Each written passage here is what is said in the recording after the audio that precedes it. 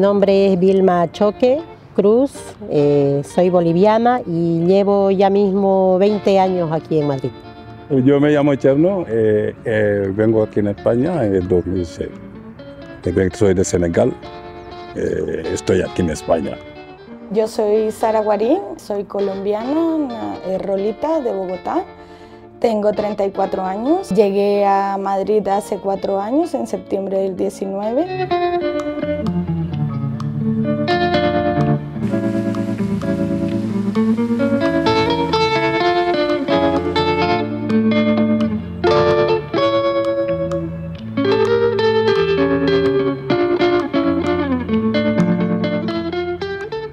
Acababa de llegar y ya me tocó agarrar un trabajo donde realmente me explotaron trabajando, estuve tres meses. Empecé luego en otro trabajo, conocí a mi pareja en ese entonces. Traer a mi hija no fue tampoco fácil porque en ese entonces yo estaba sin papeles. Estaba embarazada, mm, lo que tenía muy claro era que quería traer a mi hija porque ya había decidido, había tomado la decisión por motivos familiares de, en mi familia de tener que quedarme, porque yo venía tres, por tres años realmente y pensaba regresar. Cuando ya traje a mi hija, obtuve los papeles. Son total cinco años. Estuve aquí en España viviéndolo sin papel, sin, sin documentos, sin nada, como podía. Nadie no puede verme, eh, no, tampoco yo no podía ver mis madres ni mis padres. Cuando yo llegué aquí, llevo dos años, eh, falleció mi padre.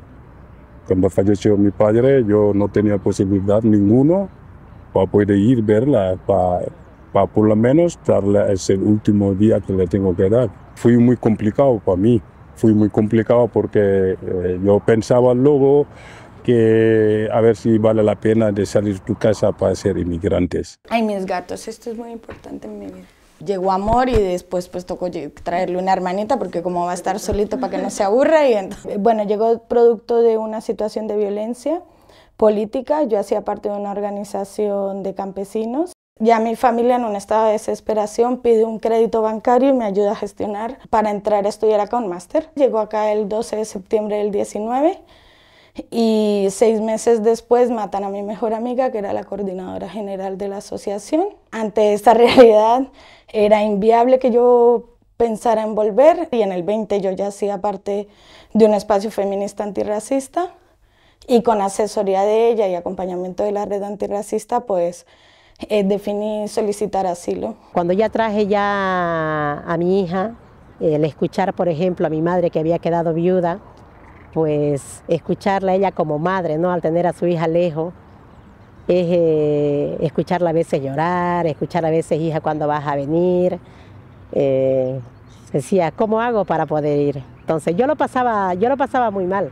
Tenía suerte, mi primer hijo, eh, mi madre podía verla, pero el segundo era bebé, mi madre ya no puede verlo porque estaba mal, antes de irnos falleció ella. Así que para mí ser un padre fuera es, es duro.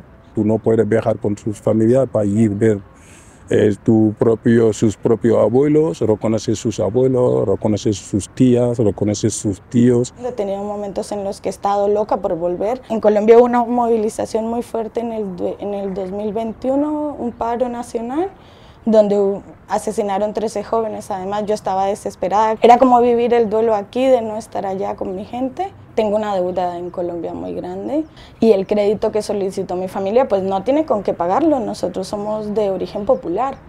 Entonces, pues los trabajos que he tenido han sido para ir pagando esa deuda y, y claramente eso limita que ellos piensen en venir porque no hay capacidad económica tampoco y eso es una, una limitante permanente.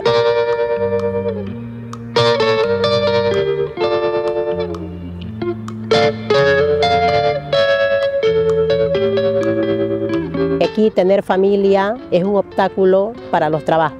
Yo recuerdo que en una entrevista, un par de entrevistas, coincidió porque no tenía con quién dejar a mis hijas, me llevé a las dos pequeñas y automáticamente me cerraron las puertas.